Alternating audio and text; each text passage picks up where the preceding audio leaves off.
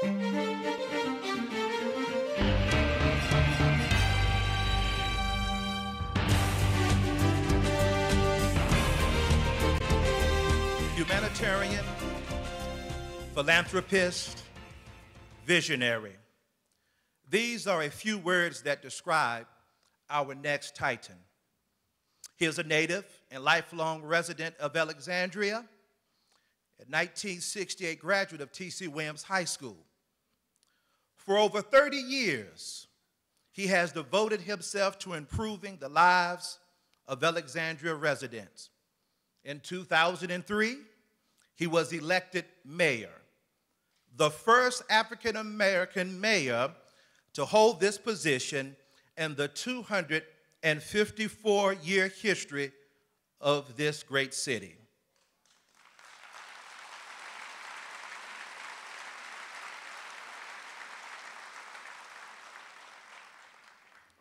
Re-elected mayor in 2006, he previously served as a member of the Alexandria City Council and the Alexandria School Board. He is our leader for one Alexandria. Please welcome my friend and yours, the mayor of the city of Alexandria, the Honorable Bill Euille.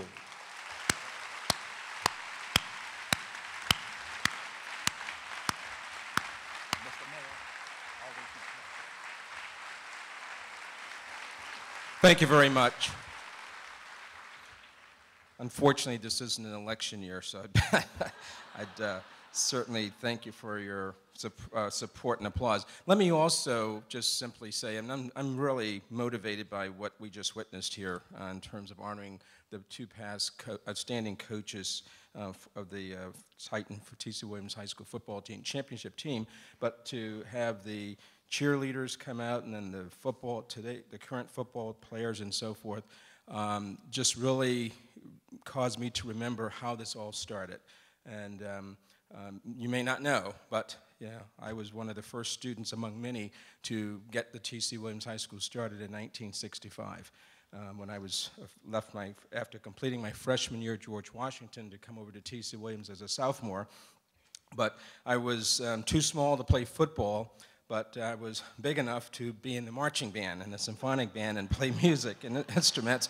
And so um, the band director at that time, Mr. Jack Dallinger, um, was um, such a, an expert and professional that he penned, uh, excuse me, he uh, wrote, he, he, not wrote, yeah, he wrote the, the, the, the music to the words to the Titan Fight song, which was penned by one of my former classmates here at TC in 1965. So to hear that song, which I played a thousand times during my three years at TC, uh, was just so remarkable. But um, let me also say that I'm honored to be here, uh, particularly because just yesterday afternoon I got an email from um, the President of the United States inviting me to be with him as we speak right now at 9.30 in the Rose Garden for a special program on um, in infrastructure investment. And when I saw the email as I was driving back from a meeting, I called his office to say, um, how long will the program last? And, she's, and they said about a half an hour. And I said, well, gosh, you know, uh, I'd love to be there with the president, but unfortunately, uh, I already have a commitment. I said, tomorrow's convocation for our teachers and our support staff at T.C. Williams. And uh, I said, so you know where I'm going to be. So I am honored to be here with such smiling faces. Mr. President, I'll see you some other time. but uh, the, the, again, and this is all about fun. I mean, it's bringing each and every one of you back here um, from the, your summer recess, but to help kick off a, a, new school year, and it should be about fun. And I'm glad that the superintendent and his staff and the planners were able to just make this a fun event as opposed to something serious with a lot of words and so forth. But it's really about uh, letting you know how exciting not only has the past years at TC in the city of Alexandria ACPS been, but how exciting it's going to be uh, in 2011 and 12. And so um, uh, as, a, as the mayor of the city of Alexandria, for my colleagues on city council, I, I know Vice Mayor Kerry Donley is here somewhere in the audience, and City Councilman Del Pepper's present, um, along with Assistant City Manager Deborah Collins, representing city, Acting City Manager Bruce Johnson, who's on vacation.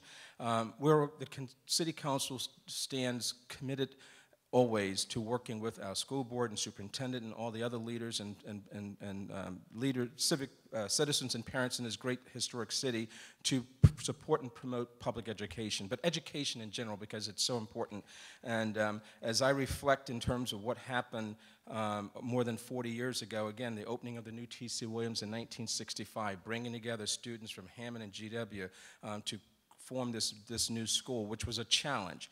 Um, and then the, having to deal with the assassination in 1968, the year I graduated, um, with the, the Reverend Dr. Martin Luther King, and you're going to hear a little bit about, more about that later.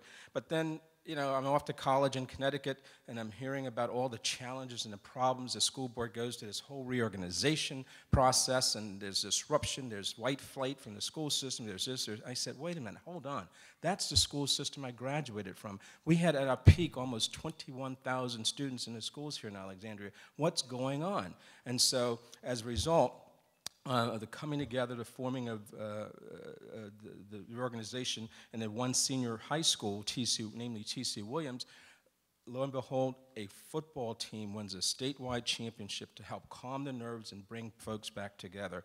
And that was certainly exciting and refreshing, and we thank the coaches, the players uh, for, for what they did at that time. And as a matter of fact, as a result of that championship, and as I've had an opportunity for all these many years, past 10 years to travel internationally, um, but even nationally, um, T.C. Williams is recognized um, very highly. Uh, and folks and tourists, when they come to the city, to when they see me, meet me, they say, I want to go to that high school. I want to see T.C. Williams. And um, unfortunately, they won't see the original building, but they get to see this new $100 million structure that we have here today.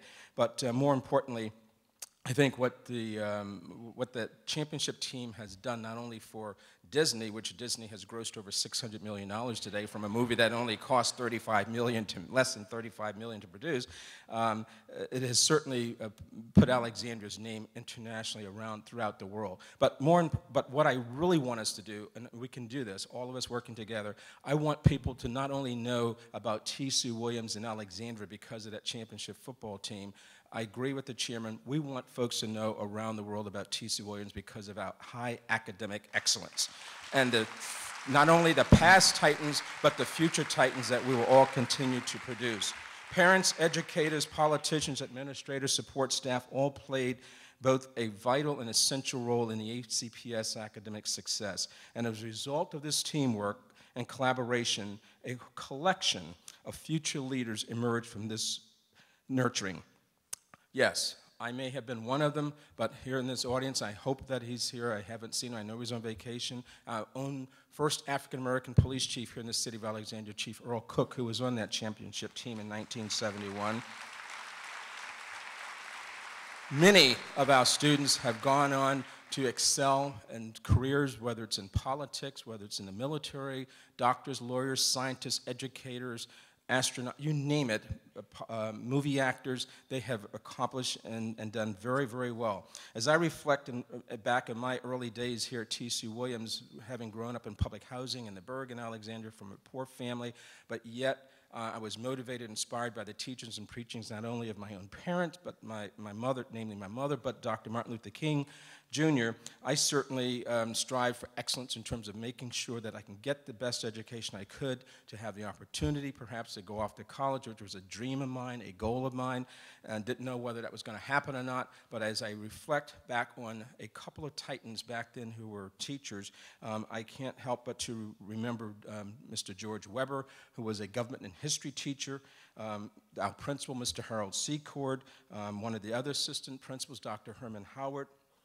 um, certainly, uh, Dell Wilson was, an, uh, I believe, was heading in the guidance department at that time. But more importantly to me was my guidance counselor, Miss Bergen, uh, who, um, after learning that I had been accepted um, to this small college, and not only before being accepted, Miss Bergen worked with me to try to get me in college, but didn't even have the $15 to pay for the application fee for whether it was my first, second, or third choice. But she said, don't worry about it because she said, I'll pay that, those fees for you. And so as a result of having paying paid those fees and enabling me to apply to college, I was accepted to a small college in Connecticut. And then about a year later, while I was working part-time at the college, I wrote Mrs. Bergen and enclosed a check for $45. She then returned that check back to me and she said, Bill, no thanks. She says, I'm not looking, expecting to be repaid. What I want you to do is to take the education that you learn and then you turn around and provide and, and give back to the community to help make a difference for future generations and future Titans. And that I will always remember. And that is really what fulfilling the promise is all about. It's about us giving back to make a difference each and every day, no matter who we are and how successful we become. But you as educators, you as support staff, you as administrators, um, you have a tough job to do, and we certainly stand with you despite the financial and economic challenges we face today as a community. But nonetheless, we will stand tall with you to make sure that we provide the best education, we provide the resources, the facilities, the, the uh, materials and equipment that you need to do your job each and every day here in the city of Alexandria. So I just simply say to you, keep doing what you do best, teaching children the most important thing that you can do. And to quote Dr. Martin Luther King, injustice anywhere is a threat to justice everywhere. And I honestly believe that if you don't have that education, then that is an injustice. And we have a responsibility, all of us, each and every day, to make sure that our children deserve the best in order to function in this global economy and that they need a fair playing ground in order to launch their success. Uh, just in closing, and I don't know if um, Mark Alexson is in the audience. He's one of our teachers here in the ACPS. I believe he's still here at TC Williams. But Mark just returned uh, from a trip taking, uh, chaperoning six students from TC Williams to our sister city in Dundee, Scotland to attend Dundee, Scotland's annual youth festival. And last night I received uh, an email not only from Mark, um, thanking the parents and, and letting me and everyone else know how excellent these students were as um, young ambassadors representing the city of Alexandria uh, and how proud he was of them. But more importantly, uh, he uh, said that, um, that, that they performed, functioned well over there. They had fun, but they were outstanding representatives of, of T.C. Williams High School. And then I received email responses back from parents who said, my daughter, my son will not stop talking about this trip and saying that they had the opportunity to meet other youth groups from Würzburg, Germany, from Dundee, Scotland, from Orléans, France, and from um, Nablus in the Middle East. And that is an experience that you just can't, we can appreciate and, res and, and, respect that here in Alexandria because of our diversity, particularly here in the high school. But when you get to travel internationally and go and see these other students and meet people, it pays spend, it means volumes to you and the fact that the opportunity that they can go there, socialize, network, and exchange ideas in terms of becoming future world leaders is so, so valuable. So with that, I want to thank the students for having that opportunity. And uh, again, this is about having fun. Education is important, but education is also fun. So please enjoy the school year, and I expect to see each and every one of you as I come to visit your respective schools and your individual classrooms throughout the year. Thank you. God bless you. Bye.